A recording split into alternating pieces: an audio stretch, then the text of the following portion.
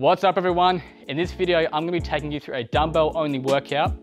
This workout's gonna be for your chest, shoulders, and triceps. And I've got a pair of 10 kilo dumbbells, so it's gonna be done at home or at the gym. Before we start, I just wanna go over the muscles we'll be using first for this workout. Starting with the pectoralis major, or the pecs.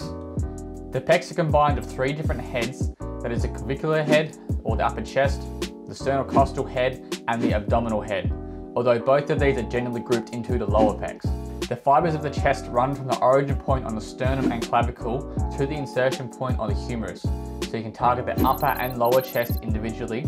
A common myth is that you can target the inner and outer pecs, although this isn't true and there's no such thing as an inner chest exercise. Moving on to the deltoids, this muscle consists of three different heads, the anterior, medial and posterior deltoid.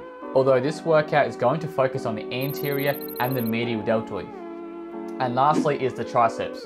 The triceps consist of three separate heads, the lateral, medial and long head. This workout will target the entire tricep. Now moving on to the workout. Before you start this workout, ensure you have already completed a 5 to 10 minute warm up. First, we're going to focus on the lower chest with a circuit of three exercises. Exercise 1 is dumbbell flies. When you do these, you want to make sure you have a slight bend in your elbow the entire time. Bring your elbows all the way down to the ground while keeping your chest up high. This is going to help you stretch out your pecs so you're getting full range of motion. To make this a little bit harder, stop just before your arms reach vertical. This way you'll maintain pressure on your pecs throughout the entire set. Do these for anywhere between 10 to 20 reps, as long as the last reps are close to failure.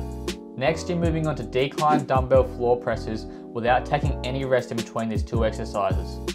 Bring your hips up high so there's a straight line going through your shoulder to your knee.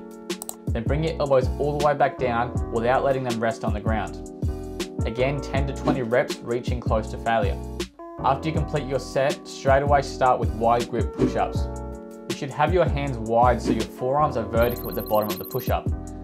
This is going to put more pressure onto your chest. Just be sure to keep a slight tuck in your elbows so they're always over top of your wrists. This set should be completed for max reps. Once you finish this set, rest for 30 seconds to 1 minute, then repeat the circuit 3 to 4 times. The next circuit is focusing on the upper chest and the anterior deltoids. The first exercise is a standing shoulder press. Keeping your core tight is going to keep your back safe as well as keep the focus onto your anterior deltoids.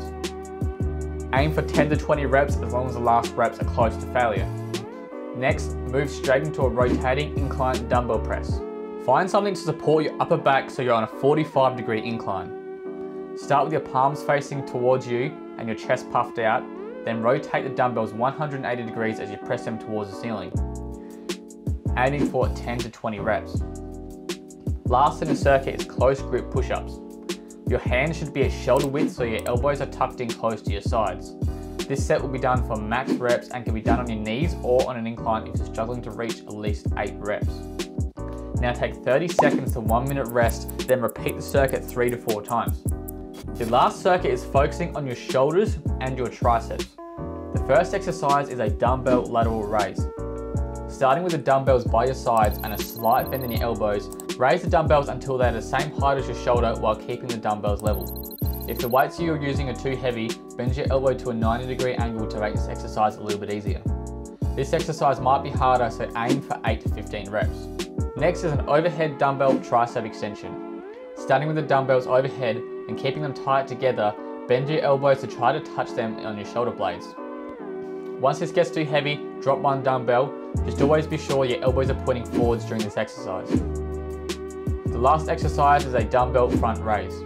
This is similar to dumbbell lateral raises, although you're bringing the dumbbells out in front to focus on the anterior deltoids.